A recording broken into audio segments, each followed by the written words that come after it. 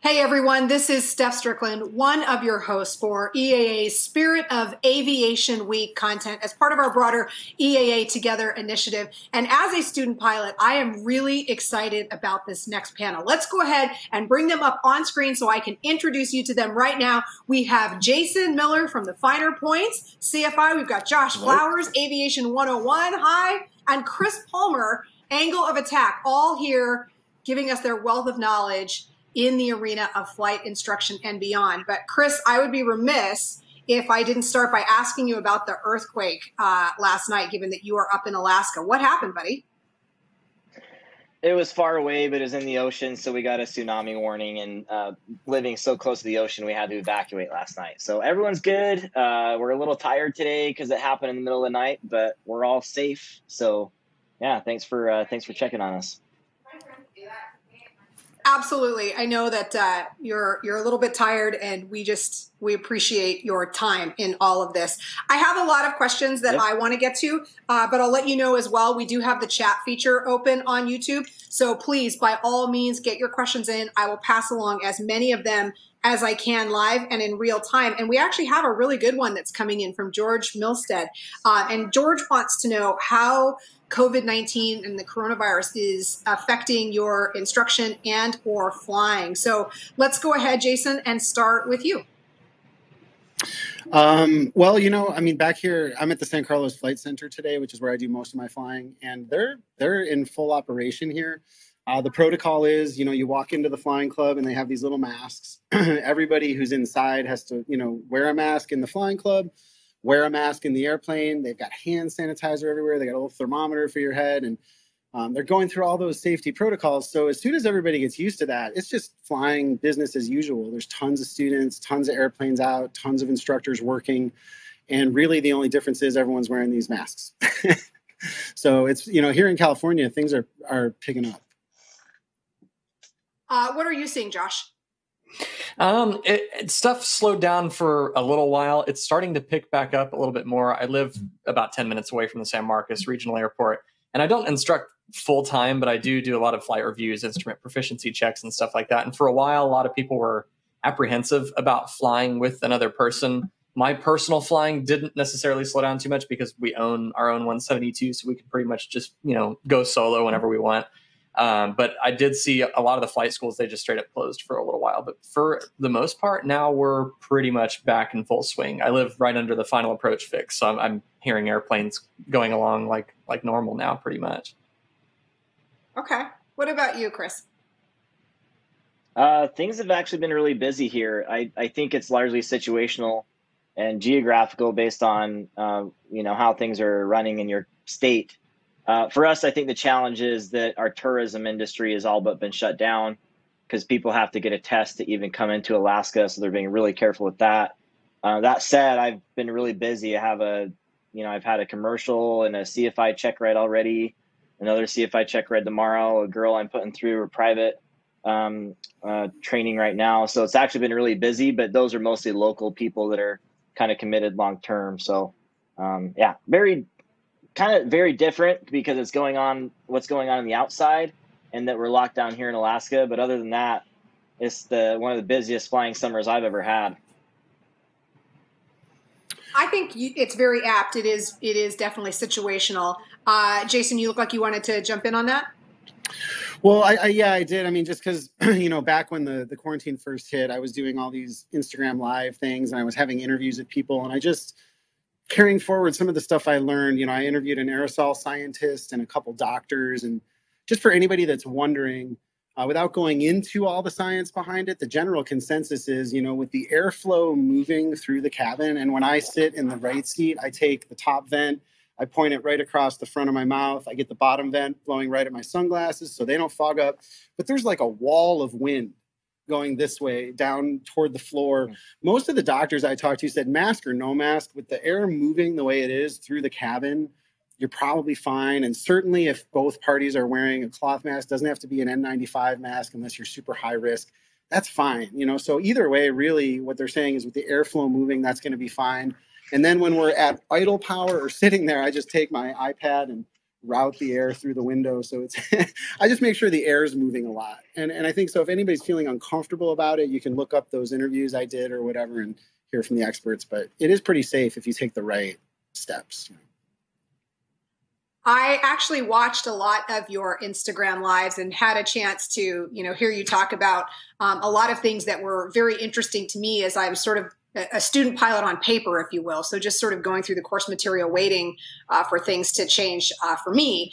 Um, I had a question come into the chat that I want to pass along. And uh, Chris, I'll start with you because you already touched on this in terms of having someone uh, come through with her first solo just a few days ago. Sydney wants to know what advice would you give to young female pilots? We'll go ahead and start with you, Chris. Hmm. Interesting. I, I think first and foremost, there is a lot of support for female pilots. There's the Women in Aviation group that is fantastic and very supportive. There's also the uh, the 99s. Um, that's not only like a national group, both of them, but also some very supportive local chapters that you can get together with and get a lot of support there. I know there's a lot of scholarships available too through those organizations. Um, I, there's been actually something going on here in Alaska with uh, with someone that's that's done or said some inappropriate things to women as well. And another thing I'd say is that is rare, um, but it does happen, and absolutely do not stand for any sort of advances like that. And if it does happen, please come forward because I am kind of on a warpath here locally to, to help out some local uh, female aviators because of that. Whereas everyone everyone else I know is absolutely supportive to just get rid of that sort of thing. So that is out there. There is a movement to get rid of it right now, and uh, just know that you have so much support in our community to make sure that doesn't happen. I appreciate your stance on that, and for saying that for um, you know women out there who are student pilots in the space. Uh, Josh, what what do you think? Uh, along the same lines, you know, in terms of finding groups that will support, you know, be able to support female aviators or up and coming female aviators. There's so many of them all over the place. I know here in Central Texas, the 99s are super active. Um, and in terms of, you know, inappropriate advances or inappropriate things being said, or even discouraging things being said, I've, I've heard some of it uh, in the industry amongst my peers uh, as well. And I think we all have a responsibility as aviators to hold each other accountable to basically just be good people and if, of course as flight instructors we are all we're not only teachers we're mentors. And that i think that is so so important being being a flight instructor. That's a huge part of it is being a mentor being a positive influence. So we've kind of got to hold each other accountable in that regard. Uh, let's go ahead right now and bring it back to chris. Chris you wanted to add to that yeah, so I, I just want to share a really quick story, an inspiring story from the uh, the student I have right now, Nicole. And actually, she's kind of not my student anymore because we got her through her training. But she came here from Arizona. She drove up here. She's going to be here for a few months. And just to give you an example of how how I I really appreciate female aviators and how well they do in flight training, she came here super focused. She had her her uh, her test done she got her commercial rating on July 26th, or sorry, June 26th. The next day, she got her commercial seaplane rating.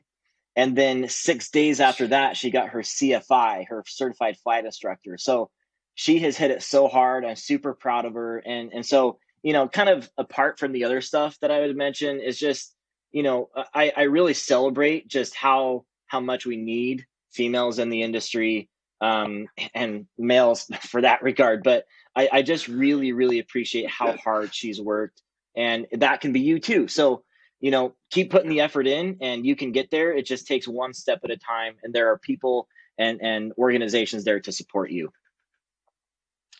Jason, you know, you at some point it, it's going to be unremarkable. Like, like it won't be a, a, female pilot. We'll all just be pilots, and we're definitely making progress in, in that regard.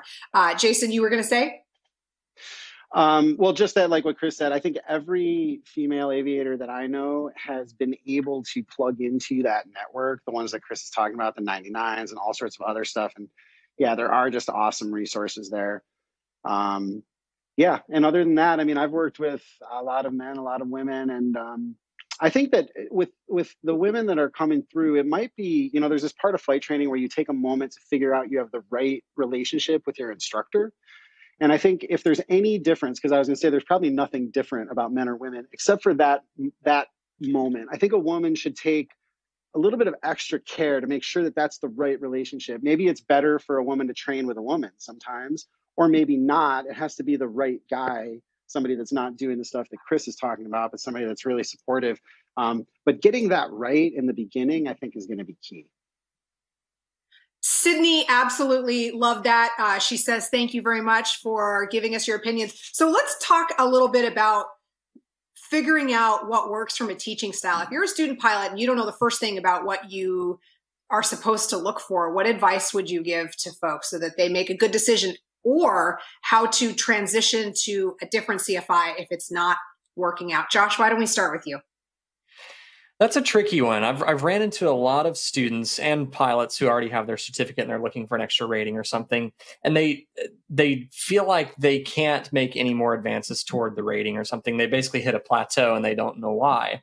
A learning plateau is something that is very common amongst every. I mean, almost every student is going to run into a plateau of some sort at some point. But it's important to be able to recognize when there's a certain type of plateau that's caused by your relationship with an instructor or how you're clicking with that instructor. And maybe there's something, the, the way they teach something just doesn't really jive with your learning style or something like that. Uh, transitioning to a new flight instructor as a student, that can be really, that can be a very intimidating conversation to start uh, with an instructor because an instructor could easily take that the wrong way. Um, I, when I'm taking somebody through a, a rating or even an endorsement or something like that, I like to have them just fly with another CFI so they can get an idea of what it's like to fly with somebody other than me. Uh, because you know maybe there's one little thing that they haven't quite caught on to yet that I teach, but because of the way I say it, it hasn't clicked, and they'll fly with another instructor, see that they do it slightly differently, whatever the case may be, and it clicks. Um, and they may even discover that they like flying with that instructor better. And if that's the case, that's fine. Uh, we're all different. We're all human and we're all very unique. So you just got to kind of find that right instructor that you click with. And like Jason is saying, there has to be the right relationship there. Um, and it can be a tricky conversation to start, but as CFIs, again, along the lines of being mentors, I think it's also we have a big responsibility to kind of drive that mentality and encourage the student to kind of check their dipstick on if they're happy with flying with me or not you know and, and that's why i'll oftentimes suggest well hey here's a friend of mine who's a great instructor. I want you to go fly with them and you know go do this topic with them and see how you like it or something like that. I think i think it's important for us to kind of keep an open mind in that regard. I see you nodding jason. Yeah i rely i mean i agree pretty much with everything josh just said. I rely heavily on phase checks not just for um, well i just think it's it's healthy for everybody it actually confirms for the student that some of the things that I've been saying are probably true. I also keep my game really sharp because my colleagues will come back to me and say, you know, he did this thing and I'm not sure if that's the right thing, you know. So it really helps me. I mean, I think my students, by the time they go for the check ride, have flown with three or four other CFIs for sure. And the last thing I wanted to say about it was I think what Josh touched on is we're all pros. I think even though that's a really hard conversation to bring forward, it's not a hard conversation for a CFI. so just know that if it's not working for you, if someone came to me and said, Hey, Jason, you know, like I've been flying with you now for two weeks and I just don't know if this is the right fit. I think I prefer flying with Mary or whatever. It'd be like, awesome. Like you found your fit. That's great. Let me talk to Mary. I'll transfer your records. I mean, it's like going from one dentist to another. You know, there's nothing personal about it except for the student because you, I mean, well, it is personal, I suppose, but we're not going to get offended in most cases. That's that's what I'm trying to say. Right. Chris, I notice you also nodding and and, and in avid agreement with uh, what we're talking about here. Yeah, I, I think for me, I I am so invested in the success of of people coming through their dreams as a pilot that if that means that they need to fly with a different instructor and they line up better with them, that's absolutely what I would rather have happen than to drag them along with me and not have it work.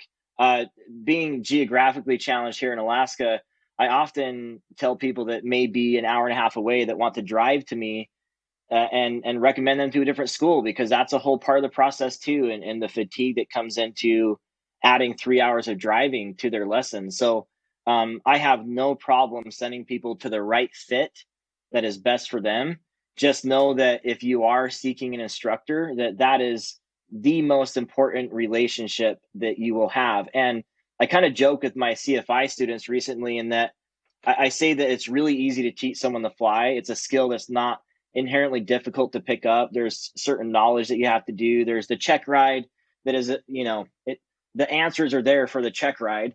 Uh, you know how you have to prepare, but the CFI is largely a motivator and a counselor and a mentor, and uh, and we help people through those learning plateaus, those times when they are unsure of themselves that they're actually on the right path to where they need to go. Because what they expect in in some ways is to do that perfectly smooth landing as we as we start out learning the land and what they don't realize is that's what you pick up at the end of your training when you can really feel things out so um, you know being that motivator that just kind of pulls people through um, maybe not even pull but kind of guide people through uh, i think is uh, is something that i really enjoy about instruction and i would encourage those out there looking for an instructor to find someone that uh, has that same love and altruistic feeling about uh, about what they want to do for their students. I feel the landing part in my heart because the thought of it makes my palms sweaty, and I know I know I'll get I'll get through it with with the right training. Hey, Eli um, is on the chat just saying literally you are all of Eli's favorite YouTubers. Um, so Eli's pretty pumped to be seeing Thanks, all Eli. three of you guys together.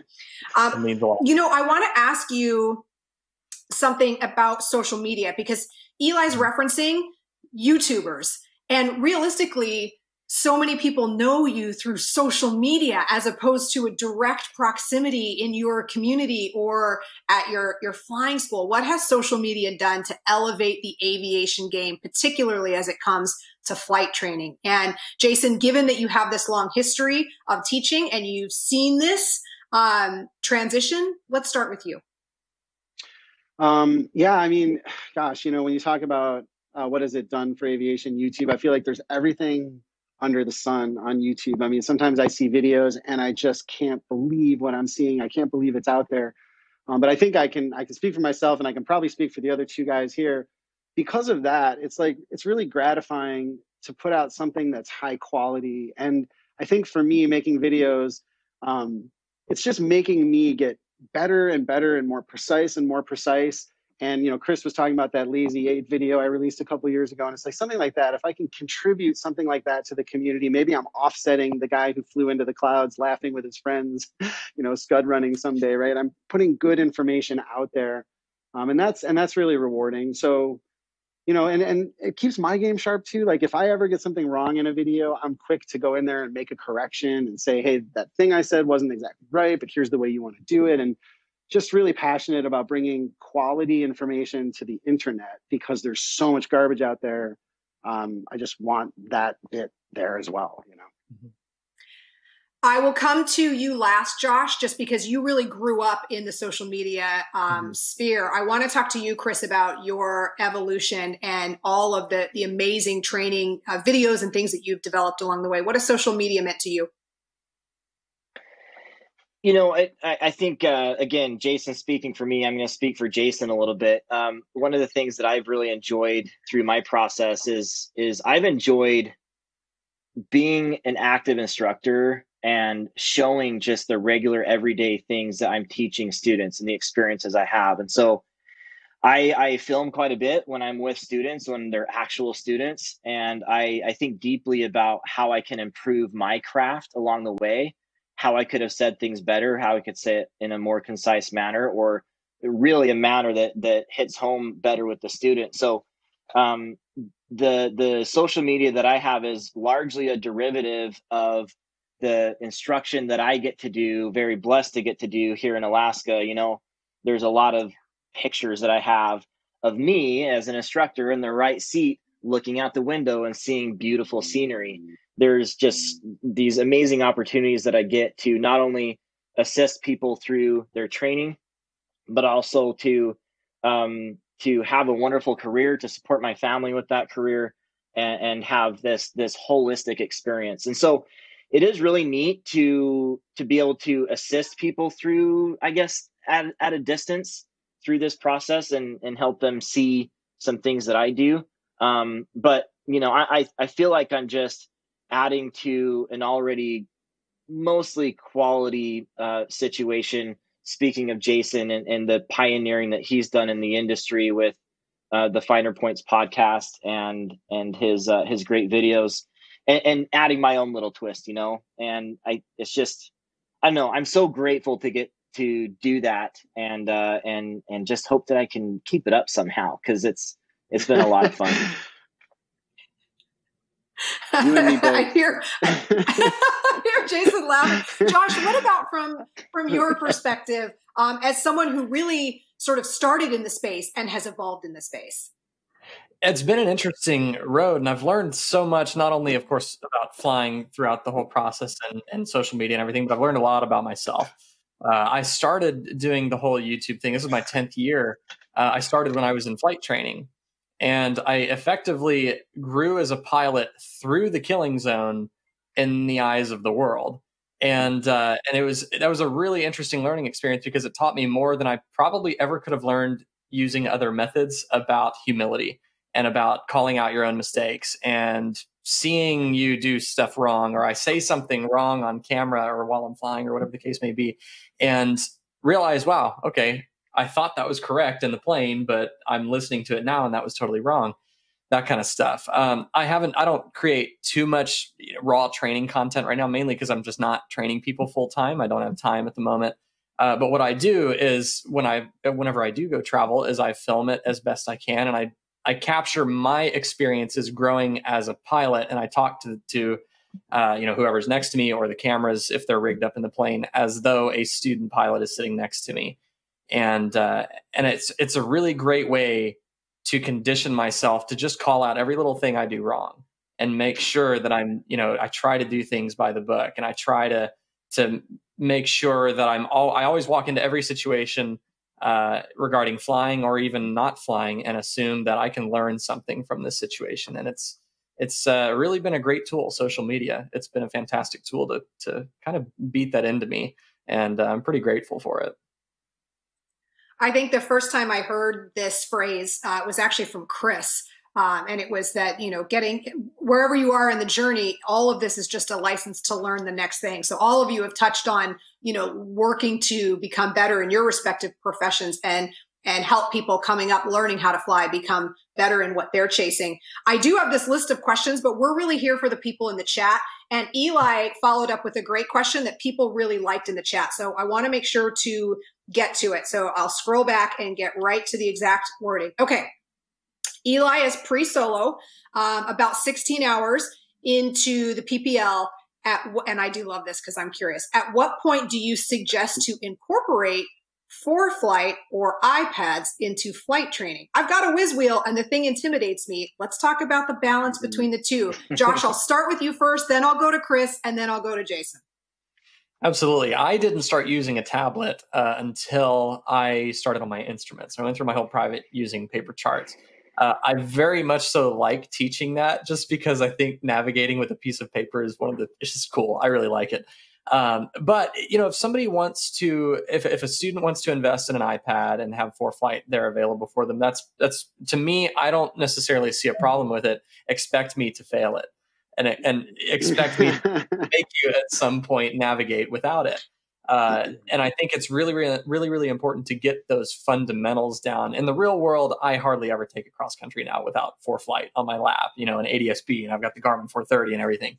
But when it really comes down to it, you need to be able to to find your point your your way from point A to point B without using those fancy tools and having traffic there. You need to know how to scan for traffic and know how to analyze the weather without having ADSB and everything. So I don't necessarily think there's a point where it's too early to use ForeFlight. Uh, it's definitely at the discretion of the instructor, and I think it's a good thing for the instructor to uh, see it, uh, see appropriate times to fail it, and and kind of go back to basics. So that's that's the way I see that whole topic. That's awesome. Chris, what do you think? I have several different, I guess, specialties or passions as an instructor. Um, one of them being I, am really passionate about the old school tribal knowledge and bringing that back, stick and rudder type flying, attitude type flying.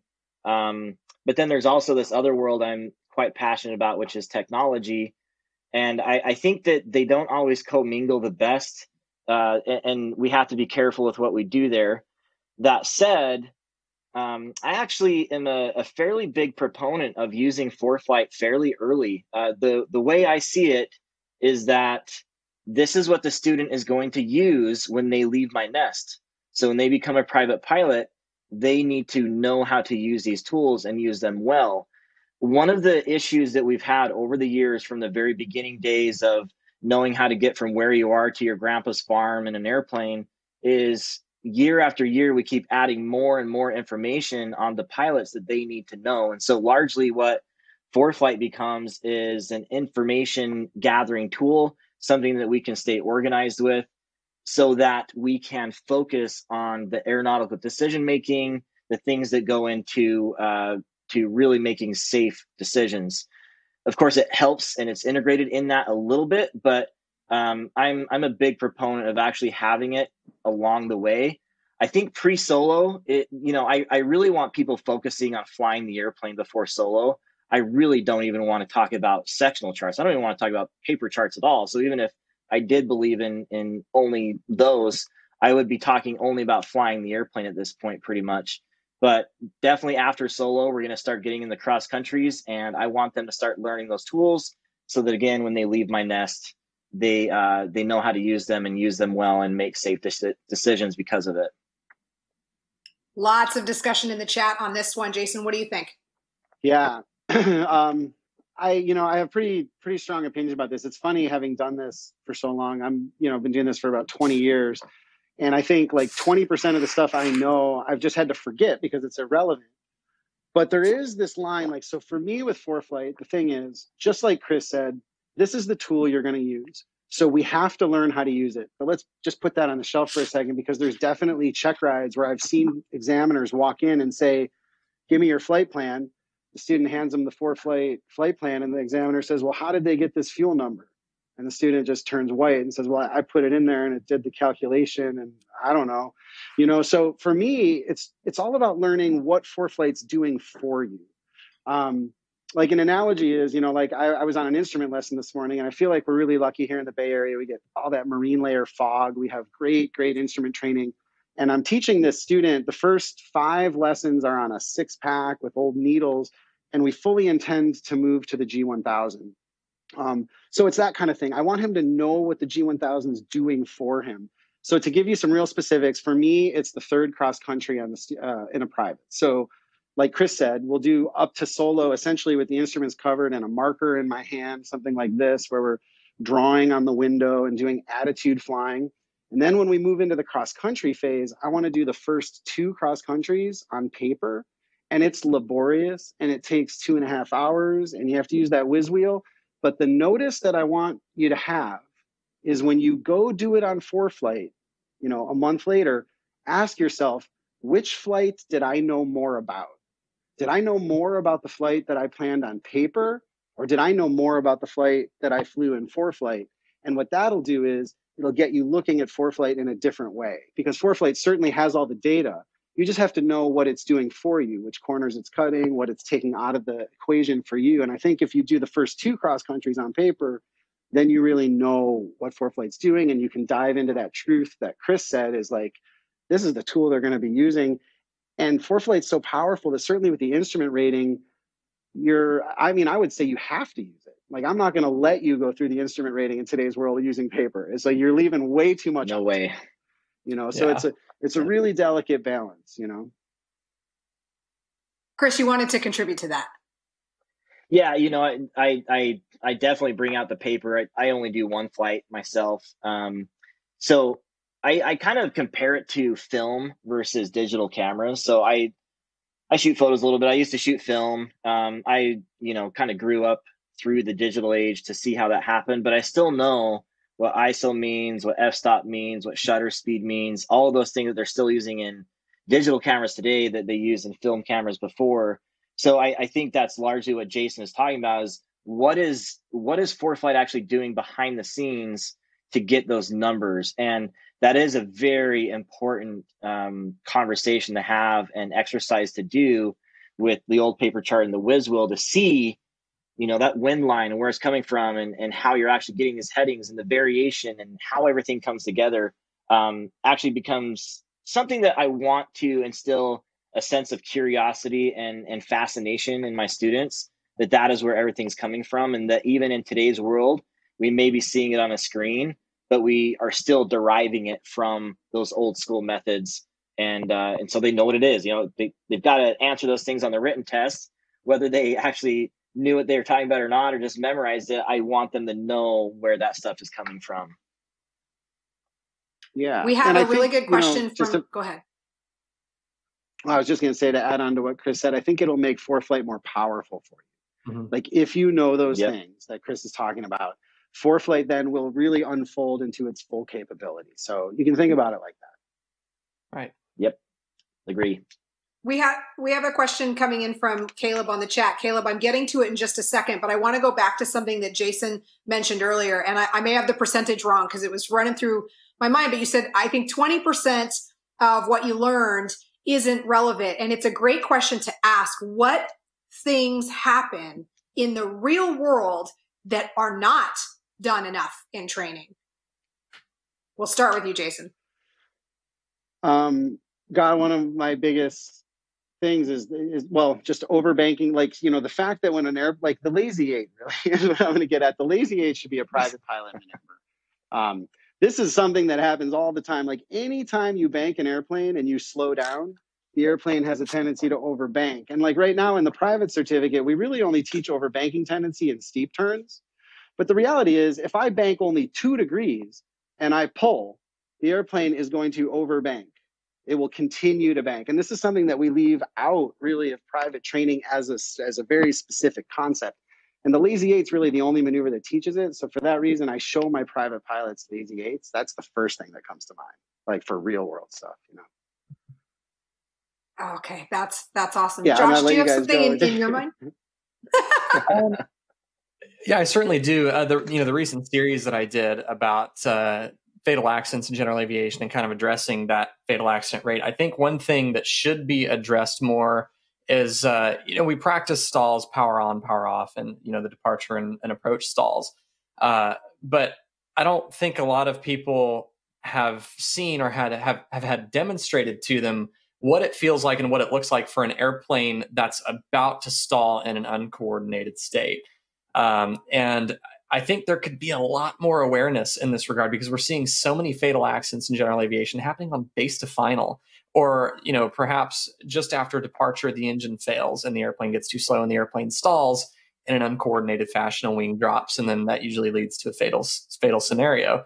So I think something that we should pay a lot more attention to in private pilot training is kind of a, a, good variety of stalls, not necessarily just the straight and level departure stall or the straight, or, or, not necessarily the straight ahead departure stall or a straight ahead approach stall. But let's practice, you know, some more turning stalls and pay attention to speed awareness in the pattern and not getting the airplane too slow. But if you do get the airplane too slow, these are the clues that something's about to happen, and this is what you can do to fix it uh, I think that is is certainly a neglected area in private pilot training. Chris, let's go over to you. First off, I just have to say that Jason is the real MVP. Okay, he has a sectional chart behind him. He had the marker right in hand. and then he pulls out an airplane as an example. He's the perfect instructor. Okay, so uh, oh, so something that I thought funny. recently was that we need to be more like three year olds. I have a three year old boy. He's very curious, and I think as pilots we need to ask why, especially of our instructors. We need to ask why a lot more. Why am I practicing these stalls? Why am I doing a power on stall? Why am I doing a power off stall? I like to show, for example, uh, like with uh, Jason and even even you, Josh, is I like to show accelerated stalls in the private pilot level because I want them to understand the energy state of the airplane and what is exactly happening with the wing. Uh, I like to do power off 180s, which is a, a simulated engine out, uh, drift down to a landing so that they can understand how much energy depending on the airplane if it's a if it's a, a piper arrow it's a brick if it's a 172 it's a paper airplane but how much energy the airplane actually has to drift down and land. So those are things i'm really passionate about is connecting why we are asked to do certain maneuvers for the check ride prove those but why those are applicable in the real world. A lot of it comes back to the traffic pattern.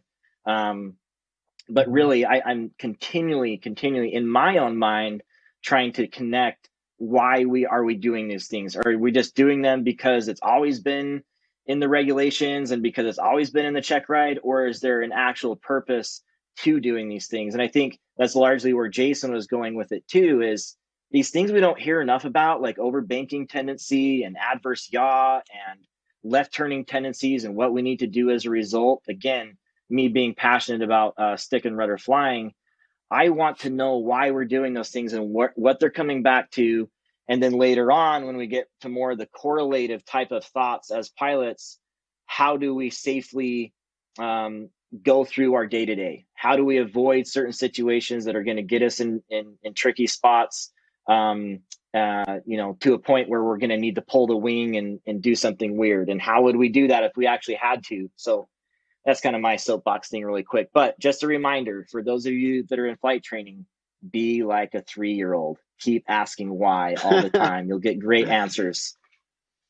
Awesome. Hey, Steph, there was that, one thing too that I forgot to mention. This is a funny one, and it's not anything near as powerful as what Chris and Josh were just talking about, but fueling. I can't believe how often I get a student. I work at a Class Delta airport where we have a truck that comes.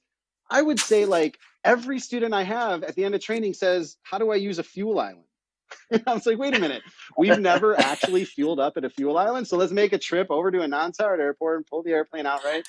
So, whichever one you're used to, if you've never gone to an FBO and ordered fuel from a truck, you should go do that. And if you've never used a fuel island, you should go do that. Two simple things. I need you guys, I need you to know I actually wrote down everything you just said um, to make a note so that when I actually. I'm not even kidding. And I am learning and I am paying lesson. attention. no, like the best lesson. Look at this panel, you guys. Um, this was the question that I was referencing earlier from Caleb.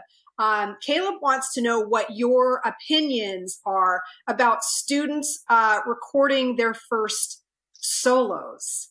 And I, I'm trying to decide. I think, Josh, I'll start with you and then I'll work my way to Chris and then to Jason. Josh, what do you think about students recording their first solos?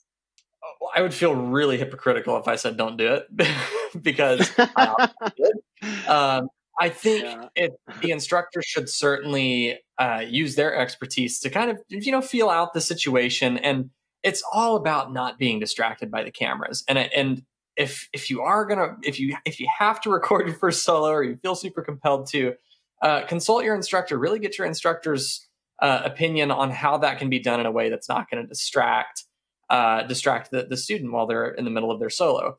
For example, if the camera, the suction cup lets go of the window and it falls to the floor, uh, that camera should ideally be back behind you, you know, shooting over your shoulder or something. So if it falls, you don't even know. You, you don't want to. You don't want to just get distracted by it. You don't want anything to to do with it, especially on a first solo. I am very much so of the mentality. I usually run about six or seven cameras in the plane with an audio recorder and I start all of them before I even get in and turn on the master switch, and I don't touch the cameras until I land. I have very big SD cards and batteries, but it's worth it to me because I can turn them on and forget, and I can I can be the pilot that I need to be on that flight, or I can be the instructor that I need to be. So if you're going to record your first solo, it's got to be done in such a way that that the student is not even going to know it's there. And in my opinion, that's the only way that it can safely be done. And I think that's where we as instructors we don't even really need to know much about video or anything like that but we do know a lot about cockpit safety and managing risks in the cockpit and i think we can use that expertise to kind of step in and say something if we see something that's going to potentially be unsafe and and if that's something that's going to happen we can uh, we can certainly uh, give our opinions on that and make sure it's going to be safe chris what are your thoughts I, I think it's largely situational. I want to make sure that my particular student that I'm working with isn't the type to be distracted by that or be intimidated by it. If I feel like they can push it out of their mind, then it's something that I would invite them to do. Um, and I actually ran cameras on this uh, this young lady that I just soloed a, a couple like a week ago. Um, she's 18. I did her discovery flight at 16, and I just got to show this. Hopefully on the camera, it shows up well. But I just got to show what recording your solo can be like if you go through all the safety measures. So let me see if I can show this. This is her after her second takeoff. And she was so excited. Yeah, it, it's just pure gold. And so um, you know, if you can put it out of mind, you know, you get the safety, of course, is always number one. If you can get that set up, then you know that is that's so special. Like that, you'll never get that again. Right. Yeah. I, you know, All right, and I Jason, what do think you think? don't, uh, I, I think that if you're going to do it, you should have, you should be doing it the whole time, right? Like it's, you just, you shouldn't introduce that at the solo. And if you've been running Oh, right. cameras with your CFI and you feel comfortable, you know, it's just, and maybe the other thing is like, you don't have to be, you know, Josh has got a channel, so he's running six cameras, but you know, you can just put one little overhead here with audio and it's out of sight, out of mind, get it rolling. And I think as long as you've been doing that, you know, that, that that's reasonable. And what Josh said earlier about learning is really important. I mean, I experience that all the time where I take the footage from my lessons, I go home and I think, well, no wonder he did that. I said the wrong thing, you know, but I didn't know I said the wrong thing until I watched myself do it on the camera. Um, that happens a lot Mhm. more than I would like to admit. so, you know, you can learn a lot. Just don't throw it in there at the last minute. Right. It's a bit like the reality TV model where they put the cameras in the houses and then eventually people just forget and they and that's to your point about introducing that early if that's something you're going to do. A lot of people in the chat are talking about what they've learned as they've watched people go through these flights and either make mistakes and and that there is a teachable moment in there if it is done um, correctly. I want to talk about what is one of the most common issues or challenges that student pilots face. Chris, let's start with you on this one.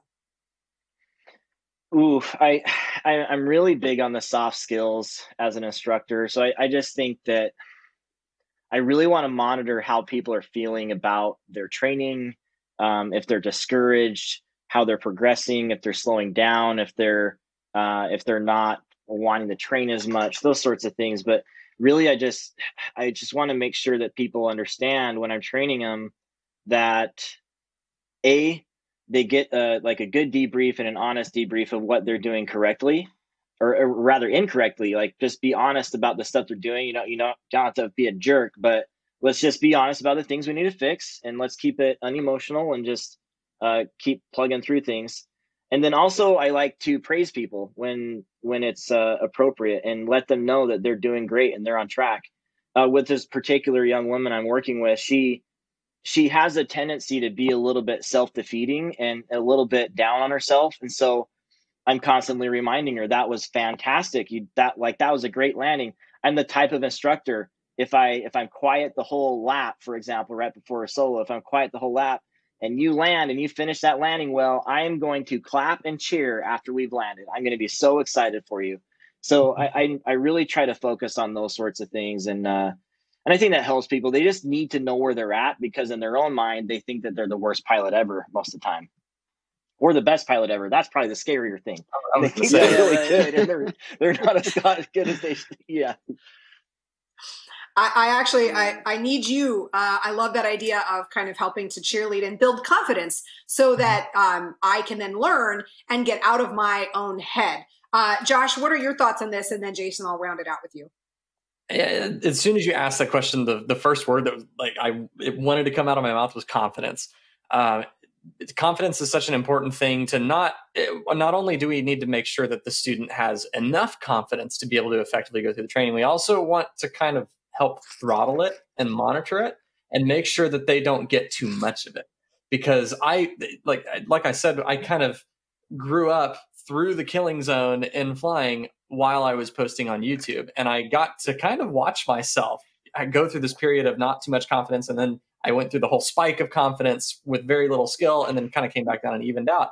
So, as an instructor, I think it's important for us to uh, really monitor that and make sure that we're wording things in such a way that that make the student feel encouraged and keep letting them know that hey, you're, you know, you're doing great. These are the challenges that I see that you're facing, and you know this these are the things that we want to work on next, and here's the things that we need to debrief on that flight. These are the things you did great, and we can kind of you know regulate it what what we're talking about and how, and and just kind of check their confidence, check the dipstick, you know, and and make sure that that they're doing all right in terms of not too much and, and not too little. Too little can be very bad because it could encourage them to, to stop flying. They could easily just back out of it and say, well, I'm not good enough for this. Too much confidence can get them killed.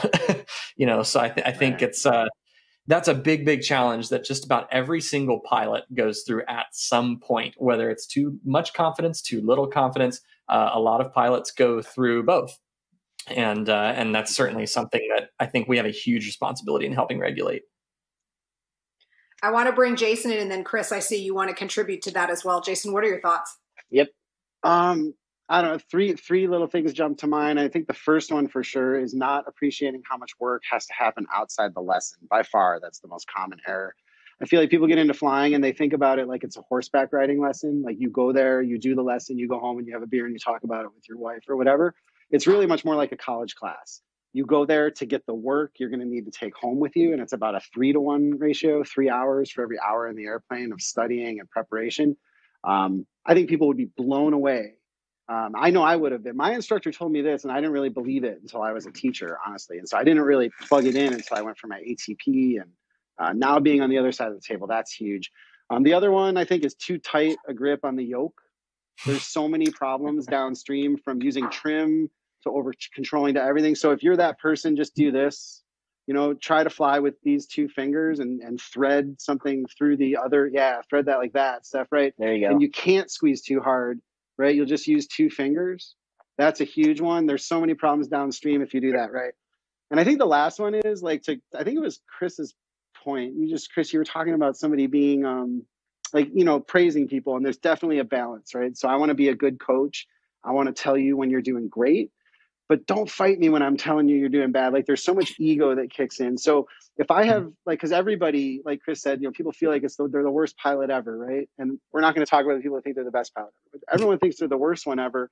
Um, don't defend that. Like if I say, hey, that landing was off center, well, yeah, but I had this thing going on. That's just a waste of time. like I know what was going on. I'm telling you. So the students that I've worked with, like my partner Todd, who have none of that, they just move through so fast. Basically, I say it, he says, okay, changes it. I say it, he says, okay, and changes it, right? That's the kind of attitude you want to try to have. And if there's mm-hmm. any issues you don't agree with or you're not sure about, take it up in the debriefing and have a real talk about it. But, you know, don't argue in the plane. It's a waste of everybody's time. Right. Chris, you had something else you wanted to toss in there. Yeah, it kind of goes back to what we originally talked about with finding a, a really good quality flight instructor because I think all of this comes down to an intense honesty that people may not be used to in their normal everyday relationships. That is that if I give you praise, I'm being honest. If I give you um, if I give you some feedback, I'm being honest. They know the praise is real when it's real because they know I'm an honest person. They know that the feedback is real because they know I'm an honest person. It's not just because I'm a jerk. I'm not saying bad things all the time, which I tend to definitely lean on the side of saying positive things but uh, yeah, it, it's all about that honesty. And if your student can understand that in this particular relationship that they have, you know, professionally with uh, with the student instructor relationship, then that's just real talk, like Jason talked about. That's that's real talk. That's a real debrief, and we don't have to be emotional about it. We're just plugging away. We're improving our skills day after day, and eventually we'll get to this place where, hey, I as an instructor, I've been the conduit to you getting to this solo or that uh, cross country solo or a commercial or a CFI because I've been there before. I've seen what it takes and I've seen where you are along the way. So, um, you know, th- th- I don't know. It's just such a beautiful thing when it's done right, when when it's gotten right. So again, mm-hmm. going back to what we talked about earlier, make sure that you do find the right instructor and uh, and and foster that relationship and really really dig in your heels as a student as well and in a good way and you know be honest and be upfront and act like a three year old and ask the why questions and uh, and take that feedback but also take that positive feedback too because right. if we praise you it means it's real because we're we're also yeah. telling you it's not right and that's real too so that's my soapbox yeah yeah that's good. It's a fantastic soapbox. I, I, and and I, I promise you, I'm like a sponge right now. Uh, there's a lot of folks in the chat who either have a lot of experience or they are going through the process of trying to get to their their PPL, or in some cases, as we've talked about, that first solo. What is a tip for people to save money through this process because it is one of the big impediments. Uh, Josh, do you have any thoughts on this? And then um, I'll go, I think I'll go to Jason and Chris in that order. Yeah, absolutely. Do as much of your ground school before you dive in and start as possible. Um, whenever people ask me, you know, I, I have almost no money to work with right now, or they say they're too young to get into flying, or or whatever the case may be, they say, how can I, what can I do right now to at least get myself stepping in the right direction? And the first thing I do is I send them links to the Airplane Flying Handbook and the Pilot's Handbook of Aeronautical Knowledge. Those are free documents from the FAA that have so much information in them. You can download the PDF and read through them, or buy you know buy the hard copy online. Um, that's what I would suggest to anyone out there. If if you want to just start for dirt dirt cheap, uh, get a hold of those free FAA documents. They're they're full of such great information that a lot of people underestimate. Uh, and then if you want to take it a step further, sign up for an online ground school and you can start going through that before you even start going through the flying curriculum and really start spending money that way you have that kind of bank and, and foundation of knowledge and when you start in the airplane and you start spending money when that Hobbs meter starts ticking you've got that foundation of knowledge that you can start applying stuff to and you can start correlating all this knowledge and stuff's just going to start happening quick and you'll be able to start basically advancing quicker because you you've heard these terms before, you've heard these concepts before. I think it's really beneficial to do that. They call it the Hobbs meter, and it sounds so pleasant, and it serves a very good, uh, important purpose. But when you said that, I just went, "Oh yeah, there goes, there goes the money." Uh, let's mm-hmm. talk to Jason. Jason, yeah. let's get your thoughts. Um, you know, like where I see people wasting money, I don't think it's so much the ground school as it is, like what I said before, not preparing. And if you think of just one example, like the run up, okay, like the airplane, I don't know what people are paying anywhere else. So I'm here in the Bay Area. people are paying like $170 an hour for, for like a 172, right? And then they're paying me on top of it. And we get out there to the run up area, and sometimes I kind of see them go like, okay, um, wait a minute, like where is it? And the Hobbs is going, and my time is going and I see like we could have just saved $75 right there if you would have looked at that before we started the engine, right? And just touched the switches and just figured out what are you going to do in the run up and what are the magnetos. And even if you're paying your instructor to sit there in the airplane with you, you're not paying the Hobbs time. So, you know, I, I don't have to belabor the point, but just you know, putting yourself in front of even a, a, like those things you get from Sporty's, which are like pictures of the cockpit and, and the POH in your hand, and just running through procedures and identifying switches and things like that will save you thousands of dollars. And I'm not even kidding. thousands of I see, uh, Josh, you, you want to jump in really quick. And then Chris, I promise we're coming to you because all of you guys are nodding in go agreement. Ahead. Josh, go ahead. Yep. I was just going to add on to what Jason was saying there. I always say that the, the airplane is a learning tool. It's not necessarily a classroom. So if you want to really learn the stuff and really drill into, you know, what these switches are, what are the mags, you know, this checklist, that checklist, it's it, it's great to just chair fly it beforehand or look at the checklist and touch things, just like Jason said, and learn that yeah. flow so that when you do execute the checklist in the airplane, it's easy and it goes by like that. So I like to say that it's not it's a learning tool, it's not necessarily a classroom. So yeah, do that stuff when the clock's not running. Chris, go ahead, jump in on this. Yeah, I, I knew that when you asked this that these guys would both nail it. Um, you know, from Josh's perspective, I, I totally agree in that doing a ground school first or or at least very very soon in the beginning is is going to give you this knowledge base in which to pull things from. And I'm talking even vocabulary. If you haven't heard certain words in aviation before, the way we phrase those words, the way we say certain things, then you're just going to be confused and you hear that in the airplane for the first time and you're trying to think about what you need to do with the flight controls when you've heard that word for the first time and suddenly like we're stopped. We don't know where to go now. Um, and then also I, I, you know again because you had uh, asked this question i heard what jason had said before the three to one ratio with with knowledge and time uh, in the airplane which is super true. Like without fail this is the number one thing that students struggle with. And if you are also looking to do this all on a budget believe it or not, it is under your control. You have uh, tons of control in how much you study this.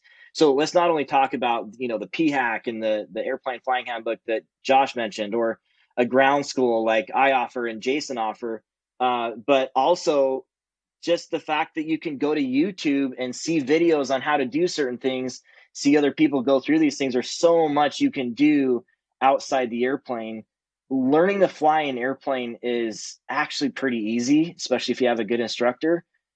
it's the knowledge and like shaping your life and and learning something holistically for the first time that I think is what a lot of people go through when they learn to fly.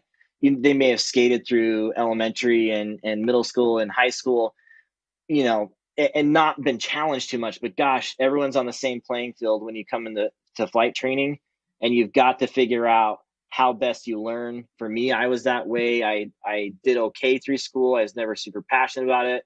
Man, as soon as aviation happened to me, the light bulb went on. I was the dude that would read a book for the first time and and uh, go through all those written test questions. So connect the passion that you have for this flying thing with the knowledge and just know that that knowledge is like the gateway to you eventually being you know 5000 feet at sunset with the mountains behind it and the air is perfectly still and you don't have to fly the airplane with your hands. You can just like fly it with a little bit of rudder and that is what connects you to those moments.